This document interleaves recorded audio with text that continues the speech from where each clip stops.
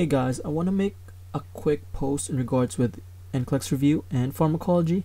Now the fact is that pharmacology will always be a big part um, in your NCLEX exam.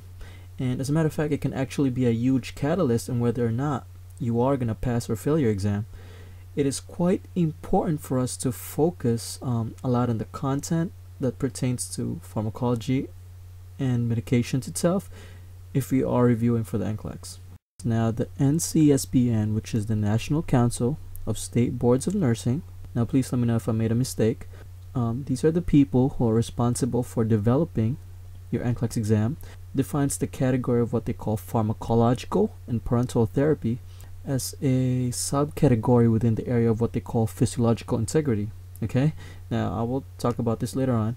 This is an area of the exam. Now, they define this category of the exam is an area in which the nurse, which is you, right, is basically providing care related to administration of medications and parenteral therapies. Now, I want to be more specific. To be more specific, pharmacological and parenteral therapy would include questions pertaining to contents like, let's say, side effects, right, your adverse reactions of medications, contraindications and expected outcomes of certain meds, and also proper administration of the medication.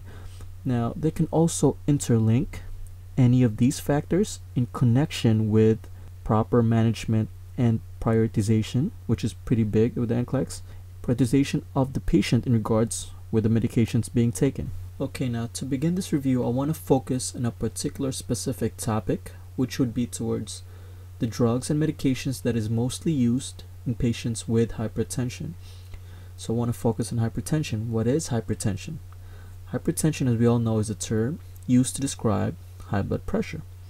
Now, what is blood pressure? Blood pressure is the measurement of the force against the walls of the arteries in our, in our body as the heart pumps blood throughout the body.